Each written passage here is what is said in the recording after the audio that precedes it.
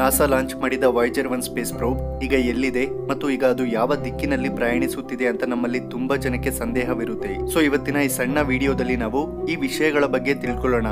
Video ತುಂಬಾ interesting ಮತ್ತು informative ಆಗಿರುತ್ತೆ. ಸೊ ಎಲ್ಲೂ ಸ್ಕಿಪ್ ಮಾಡದೆ ಕೊನೆವರೆಗೂ ನೋಡಿ. ಹಾಗೆ ನೀವಿನ್ನೂ ನಮ್ಮ ಚಾನೆಲ್ ಅನ್ನ ಸಬ್ಸ್ಕ್ರೈಬ್ ಮಾಡಿಲ್ಲ ಅಂದ್ರೆ ಈ ಕೂಡಲೇ ಸಬ್ಸ್ಕ್ರೈಬ್ ಮಾಡಿಕೊಂಡು ಸಪೋರ್ಟ್ ಮಾಡಿ.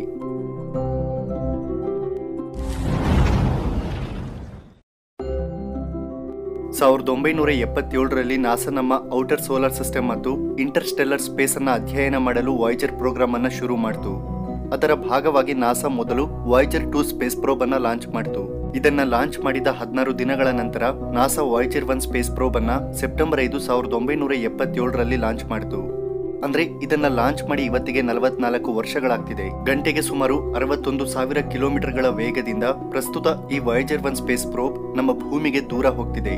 ನಾಸಾ ಮತ್ತು ಜೆಪಿಎಲ್ ಡೇಟಾ ಪ್ರಕಾರ ಪ್ರಸ್ತುತ ಇದು ನಮ್ಮ ಭೂಮಿಗೆ ಸುಮಾರು ನೂರ ಐವತ್ನಾಲ್ಕು ಆಸ್ಟ್ರೋನಮಿಕಲ್ ಯೂನಿಟ್ಸ್ ಅಂದ್ರೆ ಎರಡು ಸಾವಿರದ ಮುನ್ನೂರ ಹತ್ತು ಕೋಟಿ ಕಿಲೋಮೀಟರ್ಸ್ ದೂರದಲ್ಲಿದೆ.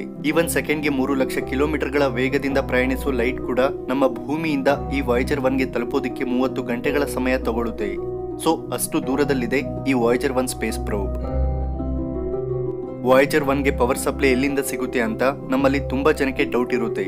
ಗೈಸ್, ಈ ವಾಯ್ಜರ್ ಒನ್ ಸ್ಪೇಸ್ ಪ್ರೋಬ್ ಅಲ್ಲಿ ಮೂರು radioisotope thermoelectric generators ಇದೆ. ಅವು ಪ್ಲೂಟೋನಿಯಂ ಟೂ ತರ್ಟಿ ಏಟ್ ಅನ್ನ ಫ್ಯೂಲ್ ಸೋರ್ಸ್ ಆಗಿ ಬಳಸುತ್ತೆ.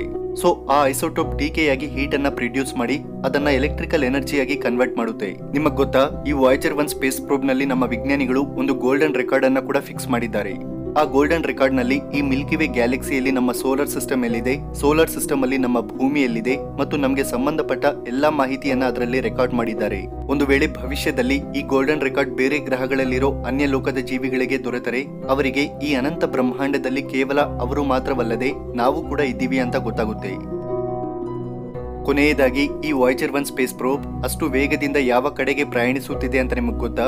ವೆಲ್ ಇದು A C plus seven nine three triple eight ಅನ್ನೋ ನಕ್ಷತ್ರದ ಕಡೆಗೆ ಪ್ರಯಾಣಿಸುತ್ತಿದೆ. ಇದನ್ನ ಗ್ಲೀಸ್ ಫೋರ್ ಫೋರ್ ಫೈವ್ ಅಂತಾನೂ ಕೂಡ ಕರೀತಾರೆ. ಇದೊಂದು ಎಂ ಟೈಪ್ ಮೈನ್ ಸೀಕ್ವೆನ್ಸ್ ನಕ್ಷತ್ರ. ಇದರ mass zero point one four solar masses ಮತ್ತು ಇದರ luminosity zero point zero zero eight ಇರುತ್ತೆ.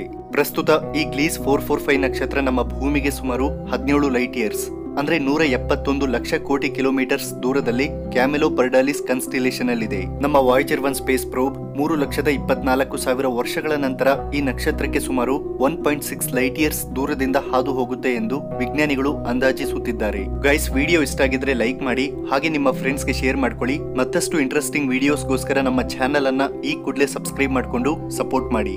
Thanks for watching. Jai Hind.